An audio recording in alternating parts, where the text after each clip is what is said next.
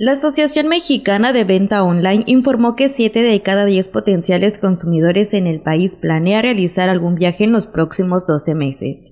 A través de su estudio denominado Venta Online Travel 2023, se reveló que los destinos nacionales son preferidos por el 75% y destaca Cancún con el 44%, Puerto Vallarta 24%, Oaxaca 21%, Mazatlán con el 18% y Mérida con el 17%, mientras que el 25% la elección será un sitio internacional, sobre todo en Estados Unidos con un 46%, Colombia y Francia con un 18 y 15% respectivamente. Los motivos para viajar son diversos, pero 9 de cada 10 busca descansar y vacacionar. El 23% busca la conexión familiar y con amigos, pero para el 21% el objetivo recae en explorar culturas y tradiciones, y un 20% viajará para encontrar aventura y emoción.